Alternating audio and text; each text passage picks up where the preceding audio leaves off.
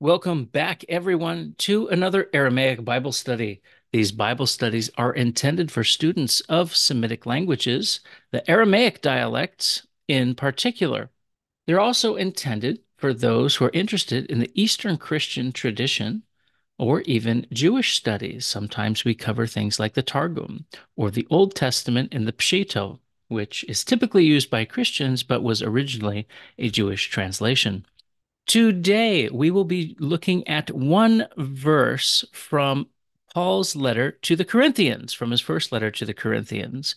And normally I cover a little section just to highlight a, a number of different ideas.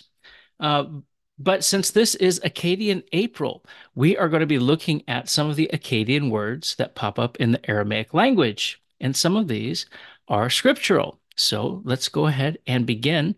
We're going to be looking at 1 Corinthians 3:10. So the first letter to the Corinthians, chapter 3, verse 10. What I do with these studies is I read the West Syriac accent here in the white and in the Serto font, and then I read the East Syriac accent in the light blue in the Swadaya font. You'll see these fonts represented by a number of different names. Sometimes they're denominational, but I I don't know that that's fair given the historical usage of all the different communities that use these fonts. So let's begin first in the Western accent. someth shetesto ech ardichalo hakimo hrenoden ale bone kulnoshden ikan bone ale. Now in the Eastern accent. Dalaha detyath li semet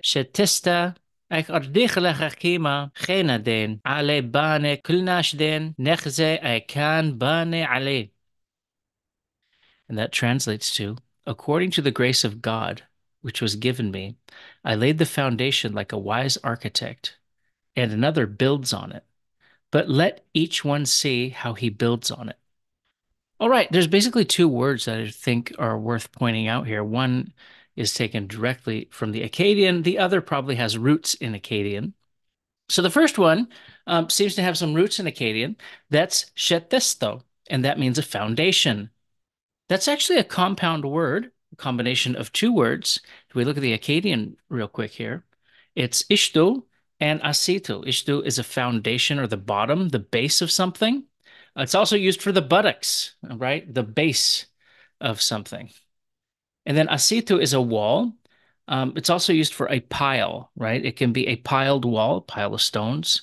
So a pile of other things too. I mean, there's been some pretty gnarly historical ways in which this word has been used uh, that you know I don't think are worth bringing up, but they have to do with um, very unpleasant things that have happened in human history for making uh, walls out of certain body parts. So, um, all that to say, it's basically a way of heaping a wall. And if you've, I don't know if you've ever laid concrete or you've made a foundation with something, you often take pieces of concrete or stones, even sometimes. That's aggregate, right? You put that in uh, the area that you're using as the foundation, and then you lay the fresh concrete over it. And thus, you know, you have your foundation. Well, here it looks like we've got two Akkadian words pressed together and that gives us this idea of foundation. So the bottom section of a wall, like a piled wall, that's a foundation, a shetesto in um, Aramaic or Syriac. Now let's go ahead and look at our second word. Our second word is ardichlo. And this is a straight up Akkadian term. And if we look at it, you can see it represented in a couple ways. I mean, ultimately, we could say, yeah, it goes back to Sumerian. Sumerian has a, another word for servant so it's basically ear three, as it's uh, conventionally written in the, the logographic tradition. So there's some, you know, question. Okay, is Arad Sumerian or is it originally Akkadian, adopted into Sumerian? Um, looks like the root seems to be productive in the Semitic languages, and if that's the case, maybe we have a case of an Akkadian word being Sumericized, or at least used in uh, Sumerian regions. And so you'll see it pop up in Sumerian texts as well as Akkadian texts.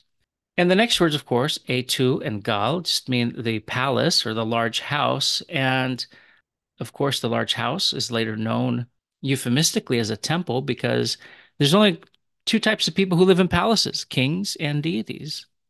And so um, when we're we're talking about where the deity lives, we're talking about an egal. Maybe you know it as a haikel in a Semitic language. And so it's another way of seeing how it crosses different lines.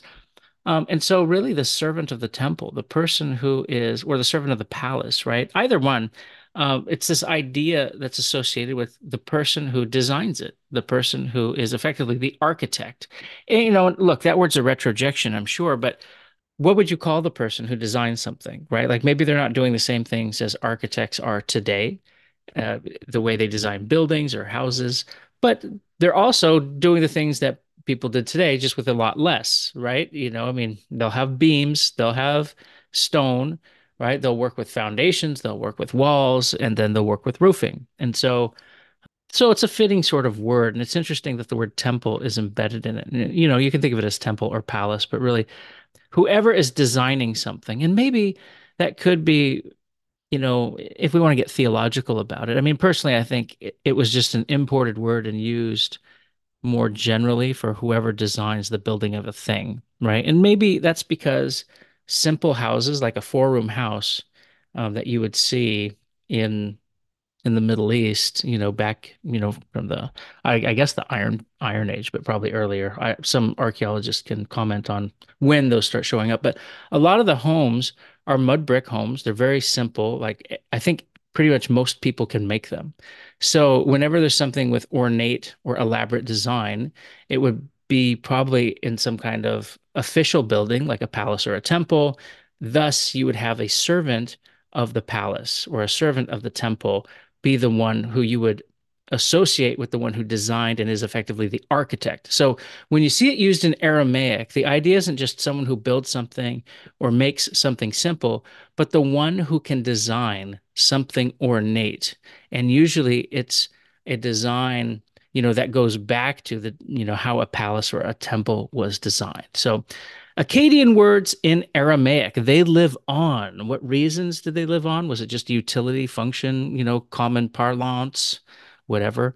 Um, you know, who knows specifically? And maybe there's a paper out there some somewhere that somebody can write about that topic if they want to research it further.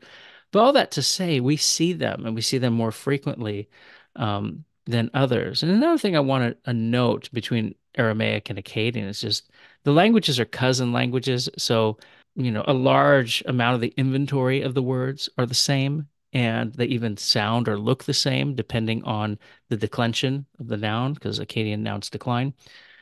Be attentive to that when you're reading Aramaic. If a word looks kind of funky but feels Semitic, maybe it's Akkadian. And of course, uh, you know, I'll do several of these, I hope, um, you know, with your support. And thank you all for the kind comments. You know, I, I really appreciate it. They make my day. So, uh, with that, I'll leave you to the algorithmic duties like, share, subscribe, uh, comment. If you have a study group, whether it's a language study group, you're a bunch of polyglots, multilingual folks out there of my own heart, uh, feel free to share these videos. If it's, you know, you're part of a, a church study group or a Bible study group or something, feel free to share these videos as well and provide your feedback. I'm sure um, they may yield some different sort of readings than what you're used to. I do these videos in part to elevate Aramaic. I want to get Aramaic out there and uh, create a large scale awareness of the language. But with that, we should also elevate Akkadian. And um, that's always a good thing. So thank you, everyone, for watching. And um, we'll see you soon.